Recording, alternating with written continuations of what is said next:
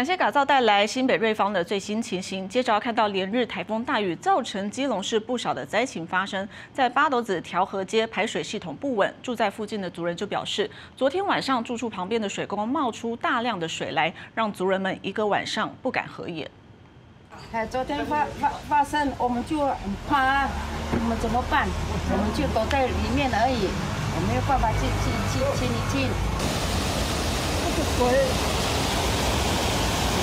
八万多，从这边进进来了，那个满满，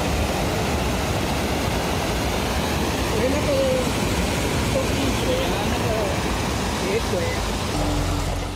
画面上可以看到，路面上都是大雨冲刷而来的泥流，国军也协助清理家园。金融市八斗子调和街就因为连日的大雨，造成排水沟冒出大水，一旁溪水也夹带黄色泥沙淹到马路上，家门前变成了小河。所幸山图儿降为热带性低气压，没有再扩大淹水灾情。